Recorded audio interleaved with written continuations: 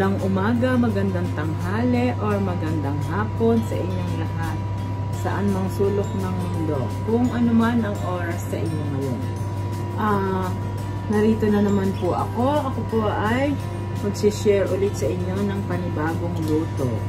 Ito po ay isang simpleng luto lamang.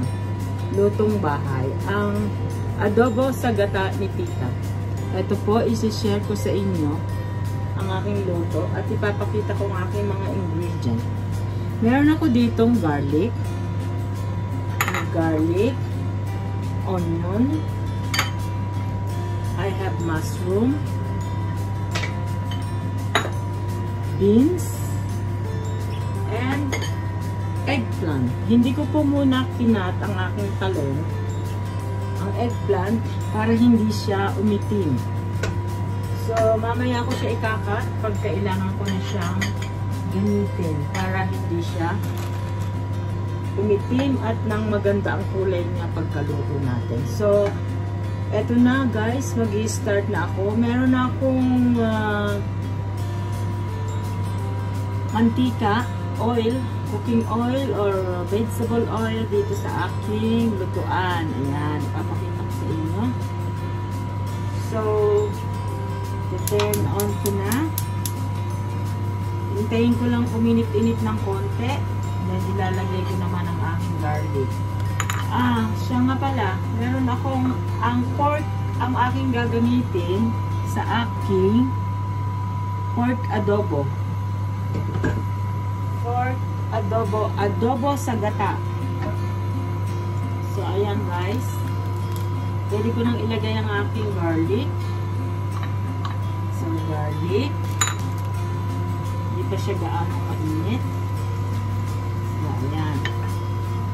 Gamit kayo ng konting mantika or oil. Then, gamit tayo ng onion. garlic. Gisa-gisa lang. Pag medyo malapit na siyang mag uh, golden brown, then saka nyo ilagay yung onion. Or meron din namang nagluluto ng nauuna yung onion nila or pinagsasabay na sila. So ngayon ilalagay ko naman ang aking onion. Ayan. Then, ilalagay ko yung aking meat. Ang aking pork. Ang pork ko po ay boiled na siya. Binoiled ko na siya para mas madali na siyang lutuin. Dahil mas matagal ang pagluluto kung isasabay nyo sa paggigisa ang inyong doon nyo palalabugin ang inyong meat. So, ang mas maganda na labugin nyo na siya. And also, yung kanyang uh, pinaglagaan, yung sabaw niya, or soup niya, yun na rin po ang gagamitin yung pangsabaw sa kanya. Pag kailangan nyo nang mag tunaw ng gata. Actually, ito po, dahil nga po ang aking lulutuin ay adobo sa gata, gumagamit po ako ng coconut powder. Pwede rin naman coconut milk. Dahil nga po wala ako sa Pilipinas, so wala dito nung nagkakayod ng niyog at instant ang mga ginagamit. Ayan. Mas prepare kong gamitin ang coconut powder. Kasi in-melt ko na lang siya sa hot water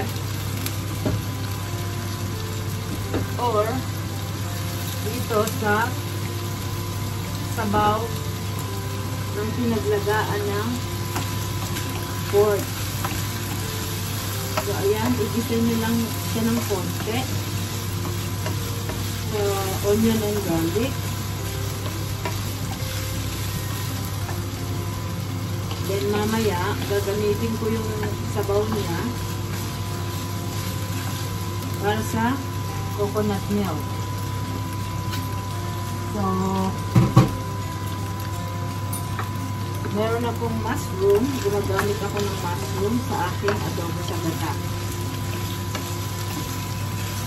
Ayan. Bisa-bisa lang siya ng konti. Bisa-bisa. Dahil siya naman ay labog na, luto na, pwede nyo na rin ilagay ang inyong mga gulay. So, ilalagay ko na ang aking beans. Ayan ang beans ko. Miya-miya ng konti ang ating mushroom dahil ang mushroom ko ay mabilis maluto. So, ayan, tatakpan ko lang ng konti. Then, ngayon ko na lang gagayatin ang aking eggplant. Dahil iniiwasan kong umitin siya kasi oh, maganda siya kasi mabuti. Kapag siya, kapag siya ay ginaya ko na agad, umiitin kasi siya. Kaya kailangan nilalagay siya sa tubig pag ginagayat siya, pag ini-slice mo siya. So kung hindi mo siya ilagay sa tubig, iitin siya. Kaya kailangan ilagay mo siya sa tubig. Para hindi umitin ang ating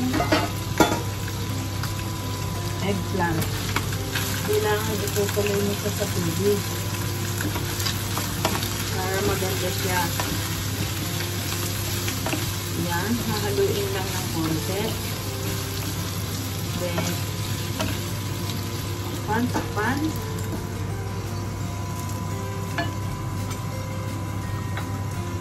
Then, ilalagay ko na ang aking eggplant.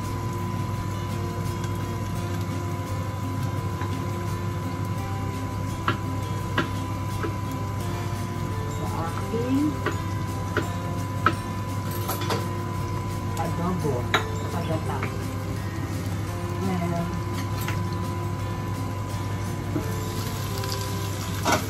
ilalagay ko siya.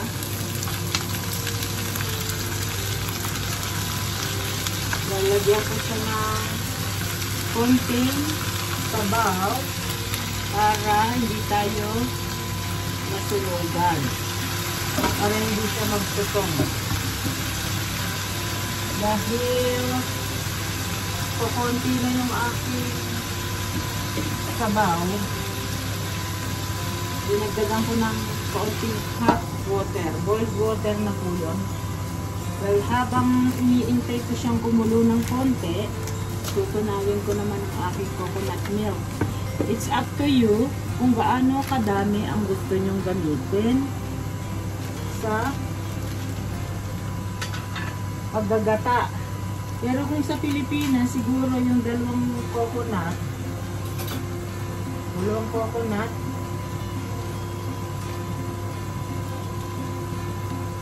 eh, saktong-sakto lang sa gagataan mo. Depende kung gaano kadami yung lulutuin niya. Yan, minimelt ko yung aking coconut powder. Kailangan ko pa siyang dagdagan. So, siguro maliit lang naman itong aking coconut powder na ginamit. So, gagamitin ko siguro yung kalahati. Kung magiging malabnaw siya, it's 150 gram. Kung magiging malabnaw siya, saka na lang ulit ako mag-melt ng coconut milk. So, ayan. Ko. And then, halo-halo ng konti. Konting-konting halo lang. Simple lang na mabilis at simpleng lutuin ang ginataang ginataang baboy, adobo sa gata. Pwede rin kayong mag-adobo sa gata ng chicken. Masarap ang chicken na adobo sa gata. So, ayan.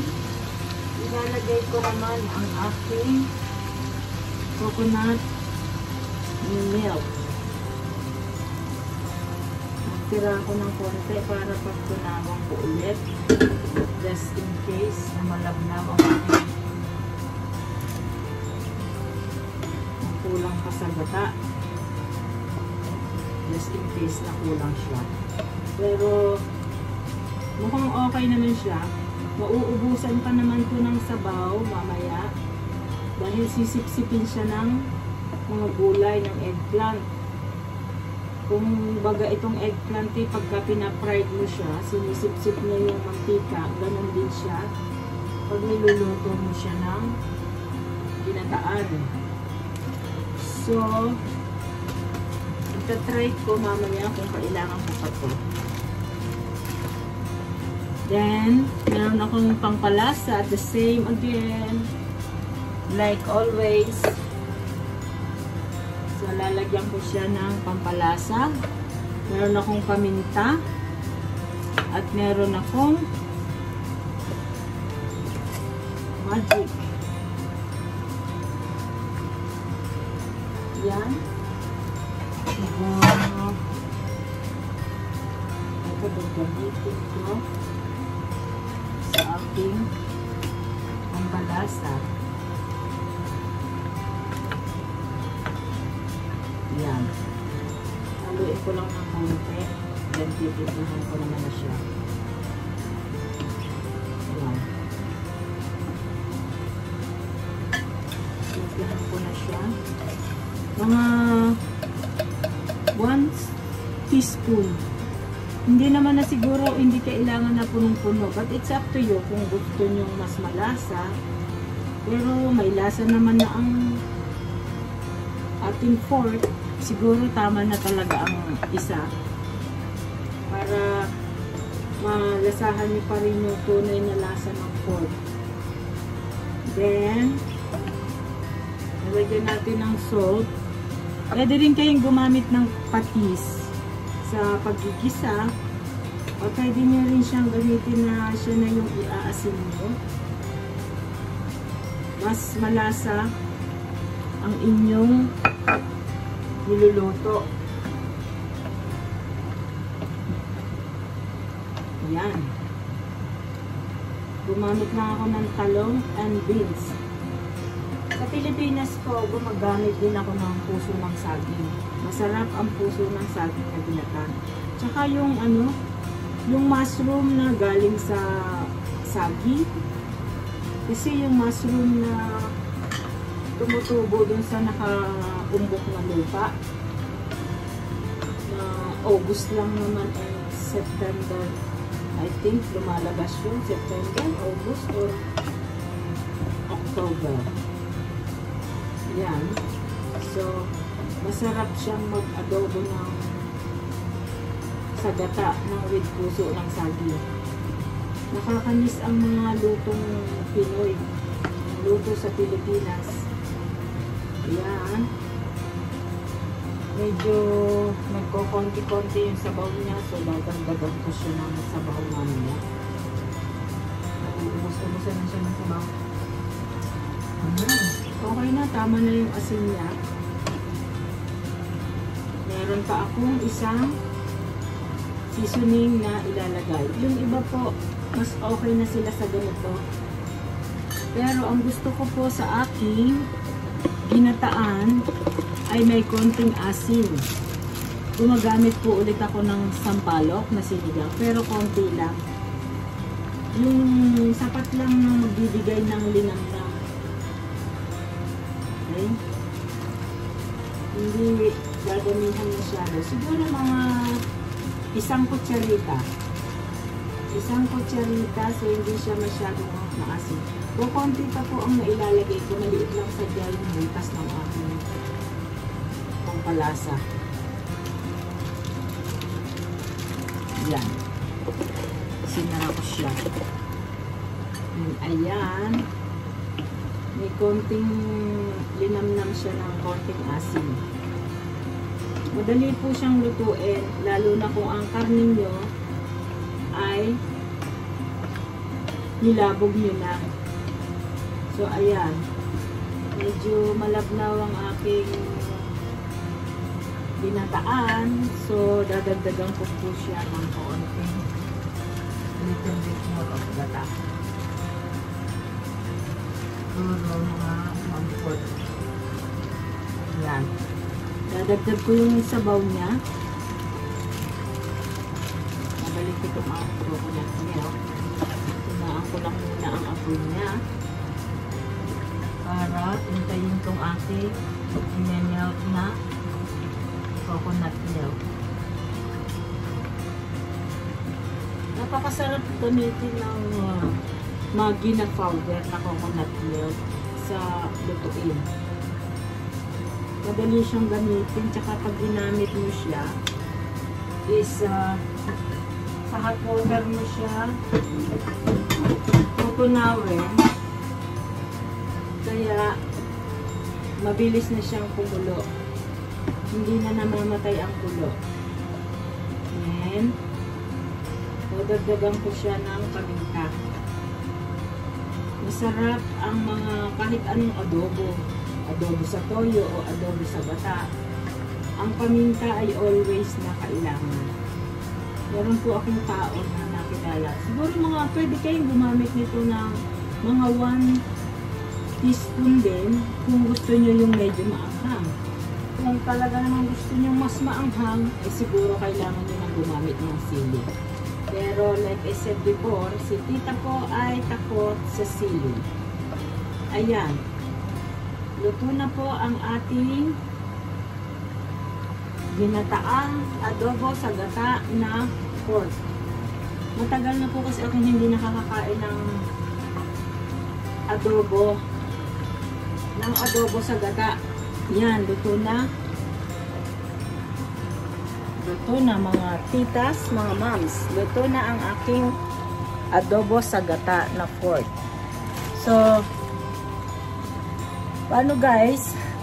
Hanggang sa susunod na po ulit na pagluluto ni tita. Uh, sana nag-enjoy kayo sa aking pagluluto, sa simpleng lutong bahay. At uh, hanggang sa susunod na mga video, Please uh, subscribe, like, and share. And also, don't forget to press the notification bell para lagi kayong updated sa mga video ni Tita. Thank you! Bye! Love you! God bless you all! Ayan guys, luto na ang adobo ni Tita with mushroom. So yummy! Kain tayo!